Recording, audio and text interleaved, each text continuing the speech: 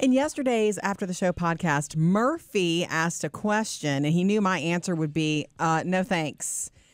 Do you, and so But yeah, there's a chance Sam might bite. you asked Sam, "Hey, would you w- ever want to be in a relationship with a bot?" And I Yeah, and let he- me make it clear. I was not asking for permission to be in a relationship Oh, with an. AI bot. Yeah. I- in case you were Sam, would you be dumb enough to?